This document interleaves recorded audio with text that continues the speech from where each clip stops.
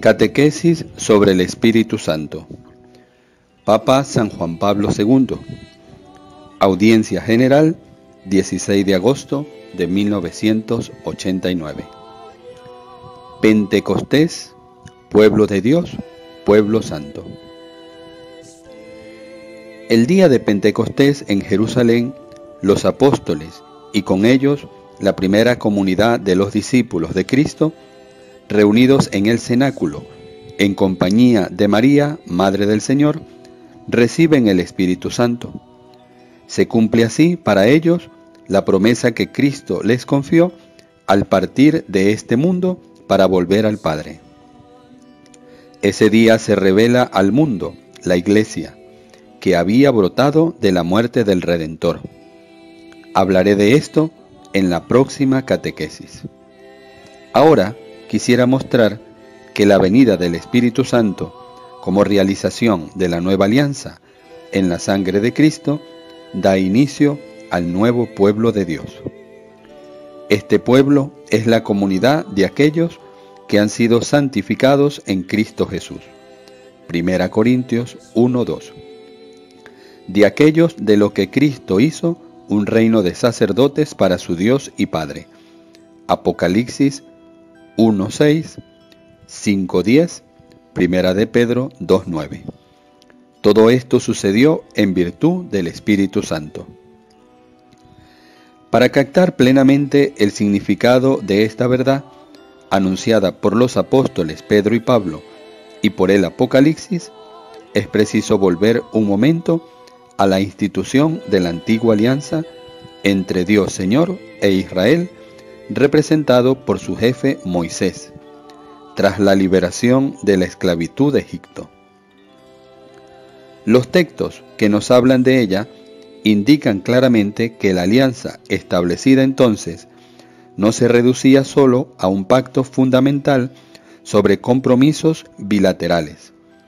Dios Señor es quien elige a Israel como su pueblo, de forma que el pueblo se convierte en su propiedad mientras Él mismo será de ahora en adelante su Dios. Por lo tanto leemos, Ahora pues, si de veras escuchan mi voz y guardan mi alianza, ustedes serán mi propiedad personal entre todos los pueblos, porque mía es toda la tierra. Serán para mí un reino de sacerdotes y una nación santa. Éxodo 19:5 en el libro del Deuteronomio encontramos la repetición y la confirmación de lo que Dios proclama en el Éxodo. Tú, Israel, eres un pueblo consagrado a Yahvé. Él te ha elegido a ti para que seas el pueblo de su propiedad personal, entre todos los pueblos que hay sobre la faz de la tierra. Deuteronomio 7:6. Análogamente 26:18. Conviene notar que la expresión Seguyat significa tesoro personal del rey. Esta elección por parte de Dios brota total y exclusivamente de su amor, un amor del todo gratuito. Leemos. No porque seas el más numeroso de todos los pueblos, se ha prendado Yahvé de ustedes y les ha elegido pues son el menos numeroso de todos los pueblos, sino por el amor que les tiene y por guardar el juramento hecho a sus padres. Por eso les ha sacado Yahvé con mano fuerte y les ha librado de la casa de servidumbre. Deuteronomio 7, 7, 8. Lo mismo expresa con lenguaje imaginativo el libro del Éxodo. Ya han visto lo que he hecho con los egipcios, y como a ustedes les he llevado sobre alas de águila y les he traído a mí. Éxodo 19:4. Dios actúa por amor gratuito. Este amor vincula a Israel con Dios Señor de modo especial y excepcional. Por él, Israel se ha convertido en propiedad de Dios. Pero este amor exige la reciprocidad y por tanto una respuesta de amor por parte de Israel. Amarás a Yahvé tu Dios. Deuteronomio 6:5. Así, en la antigua alianza nace un nuevo pueblo, que es el pueblo de Dios. Ser propiedad de Dios Señor quiere decir estar consagrado a Él, ser un pueblo santo. Y lo que por intermedio de Moisés Dios Señor hace saber a toda la comunidad de los israelitas, sean santos, porque yo ya ve su Dios soy santo, Levítico 19.2, con la misma elección Dios se da a su pueblo en lo que le es más propio la santidad y le pide a Israel como cualidad de vida. Como pueblo consagrado a Dios, Israel está llamado a ser un pueblo de sacerdotes. Ustedes serán llamados sacerdotes de Yahvé. Ministros de nuestro Dios se les llamará. Isaías 61:6. La nueva alianza, nueva y eterna, es establecida en la sangre de Cristo.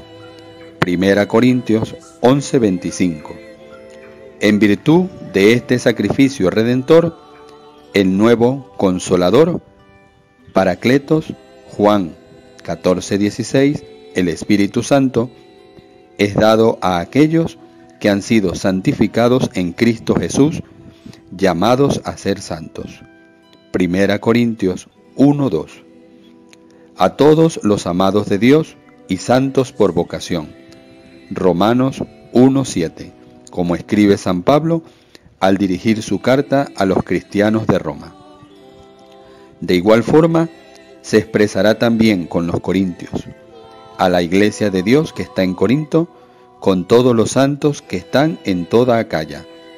2 Corintios 1:1. Con los filipenses, a todos los santos en Cristo Jesús que están en Filipos. Filipenses 1:1. Con los colosenses, a los santos de Colosas, hermanos fieles en Cristo. Colosenses 1:2. O con los hermanos de Éfeso, a los santos y fieles en Cristo Jesús. Efesios 1:1. Encontramos el mismo modo de hablar en los hechos de los apóstoles. Pedro bajó también a visitar a los santos que habitaban en Lida. Hechos 9:32, 9:41 y también 9:13. A tus santos en Jerusalén. En todos estos casos se trata de los cristianos o de los fieles, es decir, de los hermanos que han recibido el Espíritu Santo. Es precisamente Él, el Espíritu Santo, el artífice directo de aquella santidad, sobre la que, mediante la participación en la santidad de Dios mismo, se edifica toda la vida cristiana. Han sido bautizados en el Espíritu de nuestro Dios. Primera Corintios 6:11, Segunda Tesalonicenses 2:13, Primera de Pedro 1:2. Lo mismo hay que decir de la consagración que en virtud del Espíritu Santo hace que los bautizados se conviertan en un reino de sacerdotes para su Dios y Padre. Apocalipsis 1.6, 5.10, 26. La primera carta de Pedro desarrolla ampliamente esta verdad. También ustedes, cual piedras vivas, entran en la construcción de un edificio espiritual para un sacerdocio santo, para ofrecer sacrificios espirituales aceptos a Dios por mediación de Jesucristo. Primera de Pedro 2.5.